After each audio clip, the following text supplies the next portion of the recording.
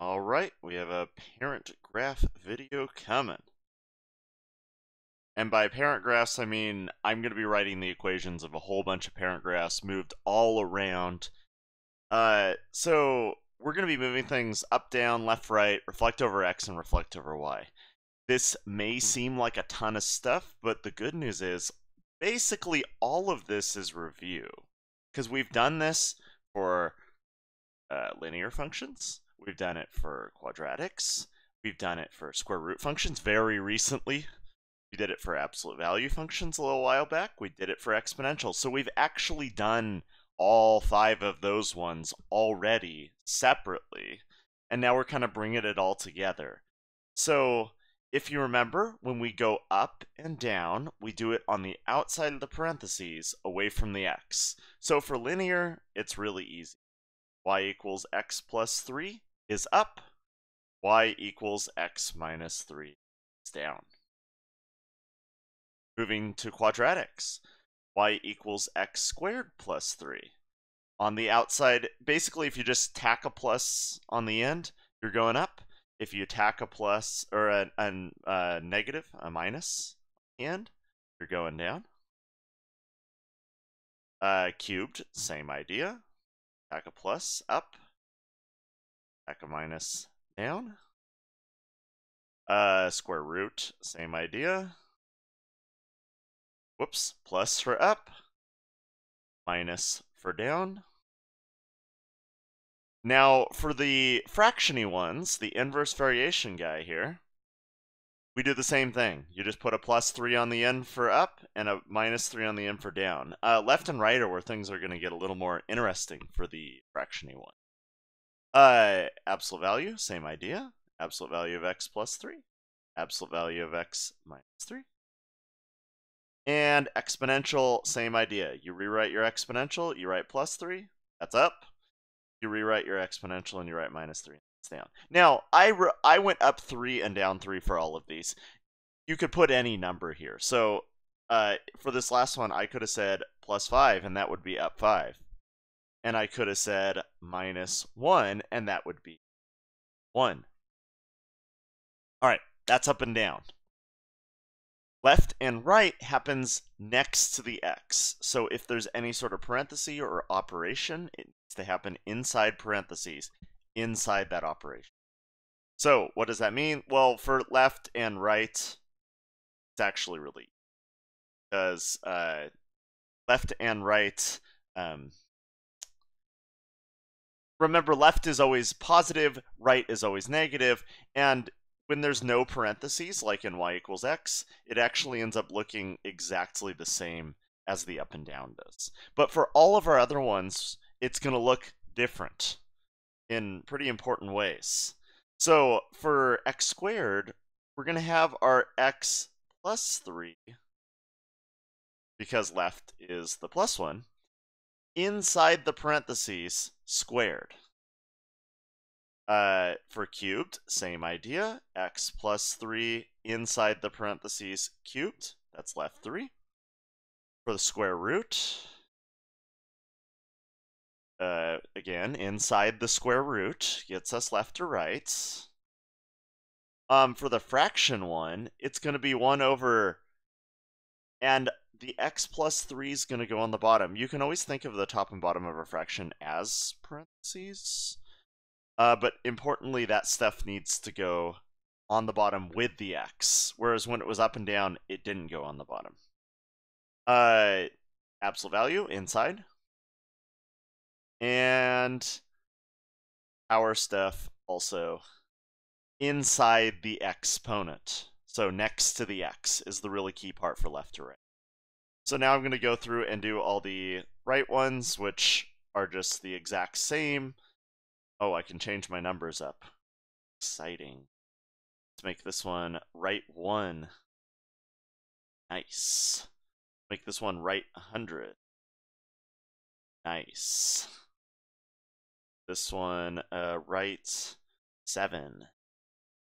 This one will take right 0.5 decimals. So big idea being it happens next to the x inside the operator. Now our last parts are reflect over x and reflect over y.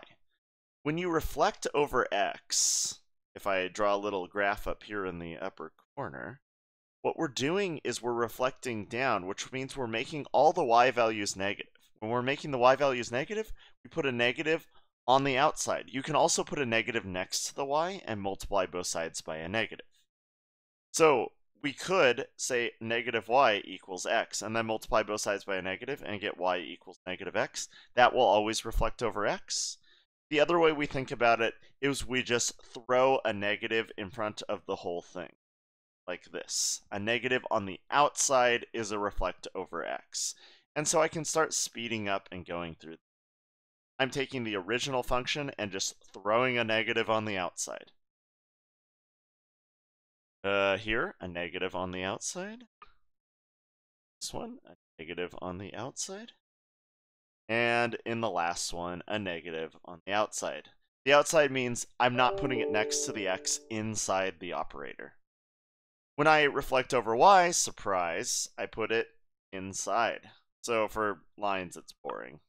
But for quadratics, it's actually really important because that negative on the inside, when we square it, actually makes it positive. So it makes it the exact same as y equals x squared. Because when you reflect over the y-axis with a parabola, which I have up here in the upper left, you actually just get the other side of the parabola. So it's like exact same if you reflect it. That's kind of cute. Um, if I uh, reflect x cubed, it's a negative inside. This one actually is different because negative 1 cubed is still negative 1. Uh, I can continue. I put a negative inside a square root. Whoopsies. Uh, and you might think, wait, a negative inside a square root, this is complete garbage. But it isn't if you plug in negative numbers for x. So this one actually only works for negative numbers and looks something like this, which is reflected over the y-axis. Uh, next one, y equals 1 over negative x y equals the absolute value of negative x, and y equals 2 to the negative x power. This one also looks significantly different. Instead of a normal exponential graph that's going up, it's an exponential graph that is completely inverted and on the other side. So they look totally different. Uh, okay, this is all of our rules for making these. Now, when you're doing the problems on the homework, uh, because this picture I just made here is basically everything you need to do uh, to set up for the homework. You're going to be asked more things on the homework. So I'm going to pop over to that. This is what the homework looks like. Notice how you only have four things to look at the adjustment for, but many of these have multiple things going on. For instance, in question three on here, has a negative in front of the whole problem, it has a minus 3 inside and a negative 1 on the outside. So three different transformations are happening. This one. Um, the last piece here is that um, you're going to be asked for domain, range, x-intercept, y-intercept, vertex, and axis symmetry. Please, please, please use Desmos for this. Oh, look at all this stuff in Desmos. A bunch of calculus stuff. Uh, let's clear out all my calculus stuff. If I can click on all these x's. And just type in whatever function you have in your question. So if you have something like x squared minus 3. I just realized I wrote x2. There we go. Uh, if you have this, and you need to find the x-intercepts and the y-intercept, if you have Desmos, Holy smokes, so much easier. Look, 1.732 is my x-intercept. Negative 1.732 is my other x-intercept. Y-intercept is 0, comma negative 3. So Desmos can help a ton with graphing these. A ton, a ton, a ton. You can check every single one of your answers here. If you look at the other... God, I am... Um, if you look at the other questions on here, um, you notice that they ask for things like where's the vertex? That's pretty easy to find. That's just the bottom of your parabola. it asks for domain and range, uh, which we have talked about a fair amount. Um, we didn't throw any curveballs your way with domain and range, except maybe the exponential one. Because uh, if you remember, exponentials have a uh, asymptote along the bottom. They always like start really small and then get really, really big. But this plus one is going to affect that, so make sure you check your graph when you're looking at it and uh, answer that one accurately. Uh, another thing is exponentials definitely don't have one of these dudes. So if unless your function is an absolute value or a quadratic, you do not need to worry about vertex. All right. Uh, I think that's it for the things I want to cover. I am looking forward to seeing some of your graphs uh, come soon.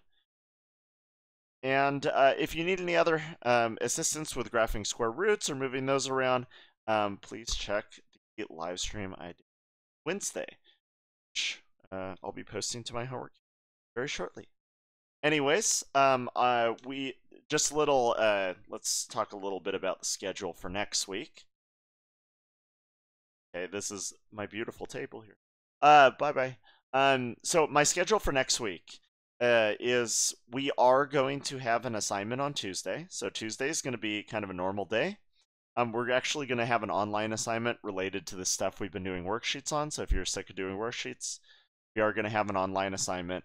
It's going to be on uh, moving parent graphs, basically. We are also going to experiment with making parent graphs steeper and less steep, which is called uh, dilation or that sort of thing. Uh, so things like 2x squared, where it's 2 times as steep, or 2 times the absolute, or 2 times the square root of x, twice as steep. We're going to be messing with that sort of stuff. Um, Thursday, or sorry, Friday of next week, there is not going to be homework. So no homework. Um, the key part after Tuesday of next week is going to be turning in any missing assignments because just a quick reminder that your grade, say you have a 70% in the class right now, if you do 100% of your homework with 100% success rate, uh, which means you get 80% or above on all your assignments, remember that I average these two and you'll be getting an 85% uh, or a B uh, grade adjustment in the grade book. So please be aware that doing your homework actually can raise your grade.